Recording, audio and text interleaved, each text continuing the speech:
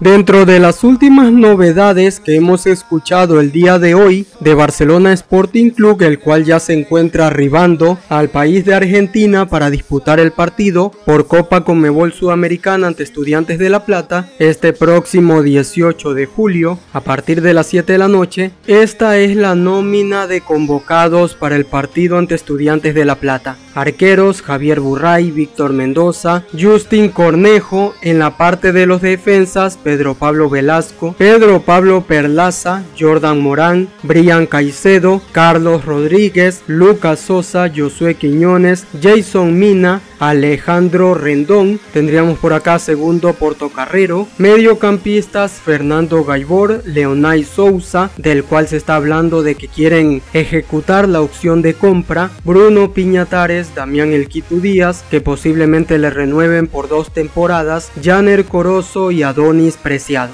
En los delanteros tenemos a Fidel Martínez, Agustín Rodríguez, Francisco Fidriusewski y Jonathan Bauman. Y a día de hoy se habla sobre sobre la negociación que estaría entablando tanto la dirigencia de Barcelona como la dirigencia del City por el futbolista Miguel Parrales. Actualmente estos son los jugadores convocados, tal como te lo he mencionado a lo largo de estos últimos días, hay múltiples novedades en el equipo torero y aquí Leonay Sousa con posibilidad de que se quede en Barcelona, se haga efectiva la opción de compra. En el caso de Miguel Parrales también hay un rumor de esa posibilidad de que Barcelona lo termine fichando para estos próximos seis meses y por supuesto Damián El Quito Díaz y esa opción de renovación.